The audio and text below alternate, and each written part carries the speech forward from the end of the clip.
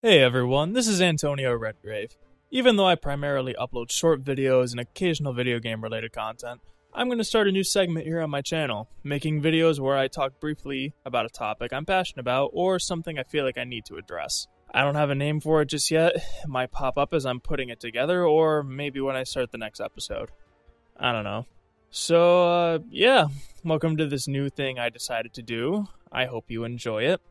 Feel free to leave comments about what's being covered in the video or something I should address in a future video. So, with that out of the way, let's begin. I would like to stress that what I have to say about the topic is entirely opinion based, and from my experience discussing it with my friends and colleagues, my opinions are in the minority on this particular topic. This is something that's bothered me ever since I've experienced it for the first time, and it's about time that someone says something about it. All I'm asking is for people to hear me out, see why this bothers me so much, and hopefully you'll realize that maybe this particular thing bothers you too. As you could probably tell from the title of this video, the feature of loot drops in our current generation of gaming is a problem. I will mostly be referring to the loot boxes in Overwatch as well as addressing the mother boxes for Injustice 2, as these are the games that I personally play the most that have this feature. So what is a loot drop? Well, it's essentially a reward box you get for playing the game. These drops contain cosmetics for the game that are completely randomized, so when you open it, you can get things like skins, profile pictures, and in game currency. The content's main purpose is allowing you to customize your character so that when you go online, your character won't be the same as the ones you fight. In most cases, you get one every time you level up your profile or do a series of special challenges to get multiple numbers of them. Now, like I said, these boxes are completely randomized, so you don't know what's in the box. You could get commons with occasional rares, or sometimes you can get epic legendary skins that are hard to come by. While I do think that a system of loot drops is a fun option for games with a wide variety of characters, there's just one problem with it the lack of guarantee. In games that have a massive roster of characters and customizable items, a loot system that randomly gives you customizable gear and skins for your characters can be off putting, especially when you don't like using a wide variety of characters. The developers of Overwatch have stated that they wanted to have this system in place to encourage the usage of multiple characters. While this does get people to experiment around with different characters, this is not how everyone likes to work. It's a good idea to have many different characters with different talents and types in your arsenal, but players such as myself are not going to be encouraged to play a character just because I got a super cool skin for them. In my games, I personally use the characters I use because I either like their playstyle, the character in general, or have a personal connection with them. I don't have Robin as my main for Injustice 2 because I got this super cool looking sword from a mother box. I use Robin because I like Robin. I like the character, I like his playstyle, and even his attitude towards the other fighters puts a smile on my face from time to time. Bleed, you sick, twisted maniac! The same applies to Overwatch, but to a lesser extent. In an objective based shooter, you can't necessarily stick to a single character and expect to win, which I completely understand and I myself use a multitude of characters and switch for the particular situation.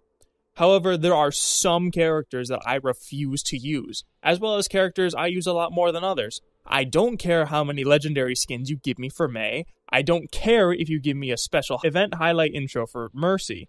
I don't care if I get every single piece of customizable options for a character I have only played for 5 minutes.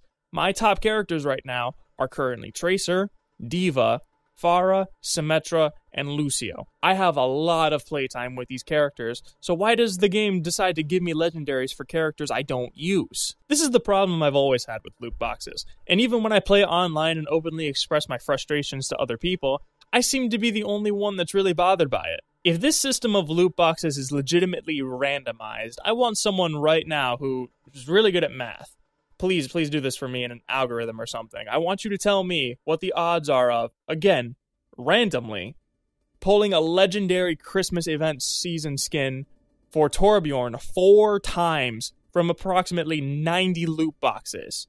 Keep in mind, this is when I barely used Torbjorn. So naturally, when the Uprising event happened after I used him a pretty fair amount, how many times did I pull his legendary? None. Instead, I got Orisa's legendary twice when she was a brand new character, and I had barely any playtime with her.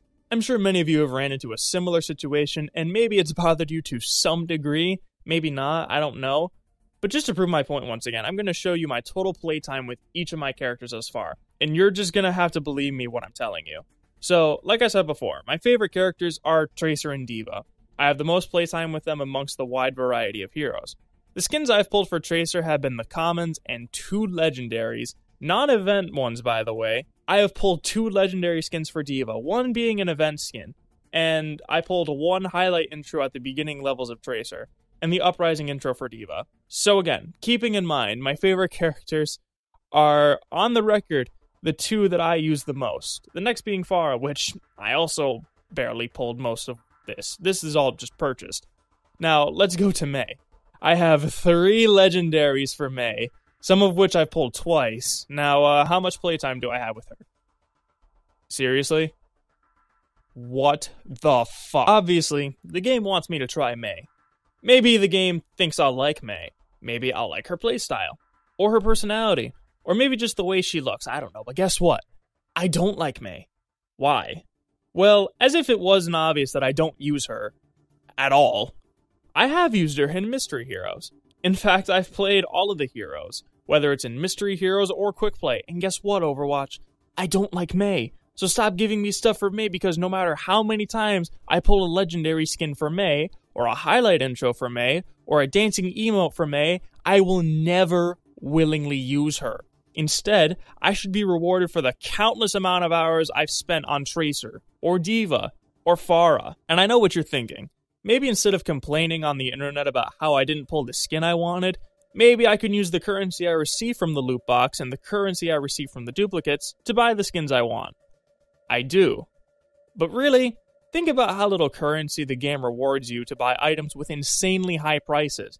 Not to mention, event items are triple the original price rarity. It's nearly impossible to buy the $3,000 legendary skin you're drooling over when the game rewards you with 200 currency for a legendary duplicate. Even less for duplicate commons and rares. On a side note, the loot box microtransactions have always bothered me to an insane degree.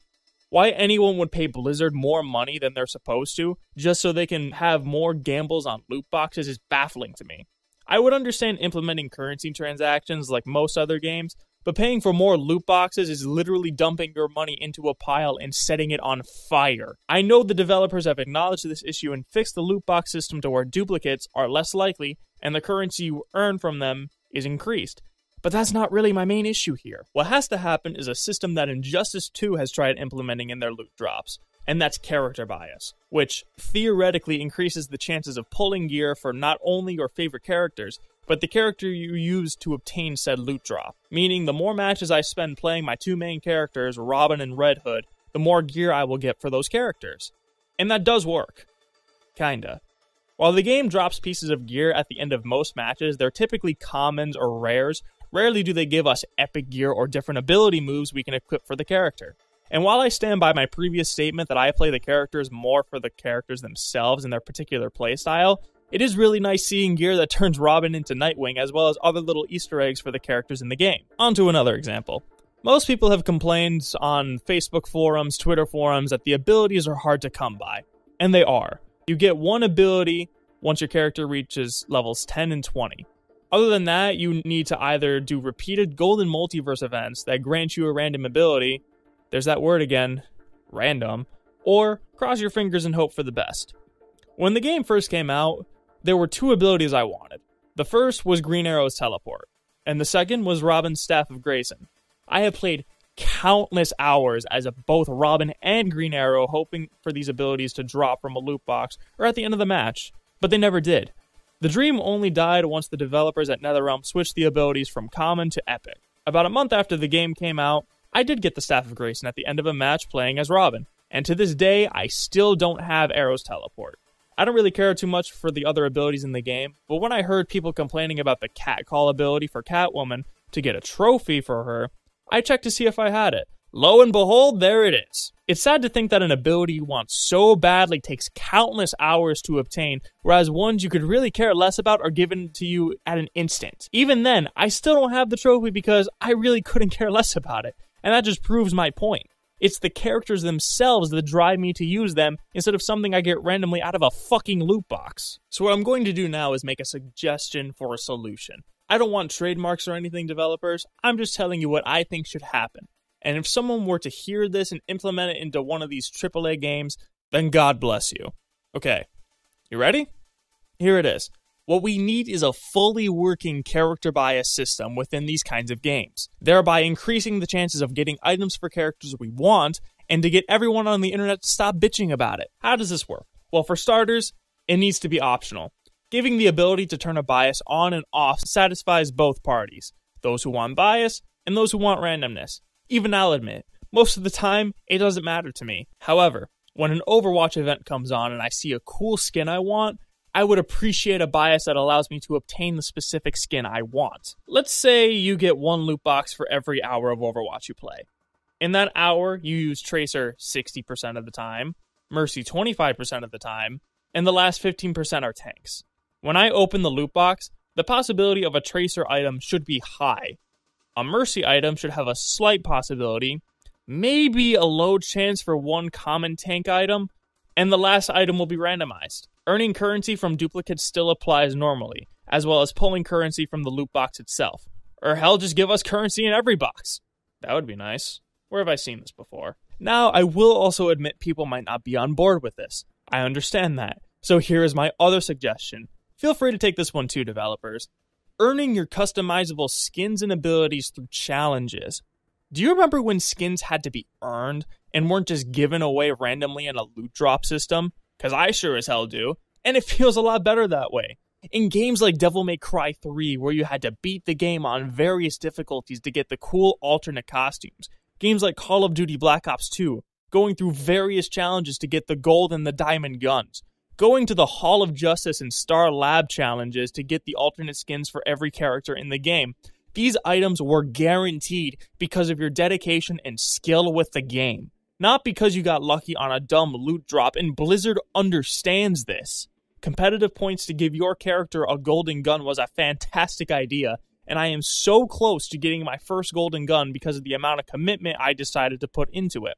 The same went for D.Va's officer skin. Going through 10 games of Heroes of the Storm was a pain in the ass, but I felt like I accomplished something. I felt like I earned that skin. I didn't feel that way when I pulled her anniversary skin because it took three weeks of loot box hunting, grinding away currency until I eventually pulled it, then using my currency for the Tracer skin. Now, I know that one person on a small YouTube channel advising companies to implement this practice isn't going to do anything.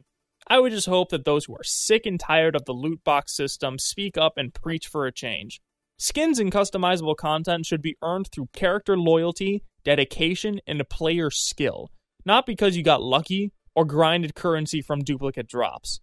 On another side note, this final statement is directed to the guys at Blizzard who thought it was a good idea to put the Officer D.Va and Oni Genji skins in Overwatch loot boxes after locking them in a Heroes of the Storm Nexus challenge, and after grinding away 10 matches in Heroes of the Storm. Okay. Dear developers at Blizzard, fuck you.